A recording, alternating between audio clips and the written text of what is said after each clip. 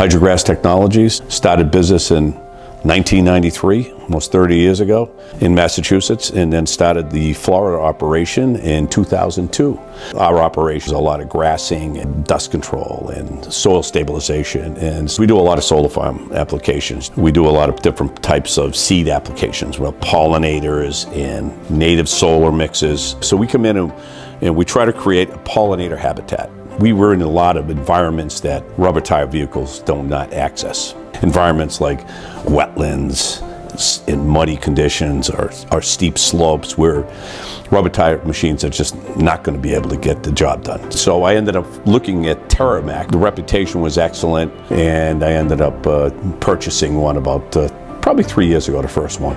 We have two Terramac RT9. We have a hay machine in the back of a tailgate. They did a great job in improvising and making the racking system. And it was all built up for us. So it had all the railings. Everything was suitable, worked fantastic. Great machines. We haven't had any issues with them at all in terms of mechanical failures. The versatility is fantastic. Its maneuverability is great. We were able to, you know, turn on a dime. We were able to get all the seed mixes in place. The pollinators require straw mulch. And so we had to put a, a, nice coat on there and just go in without destroying the area. And that's what the Terramac was, was great about doing. It has a small footprint.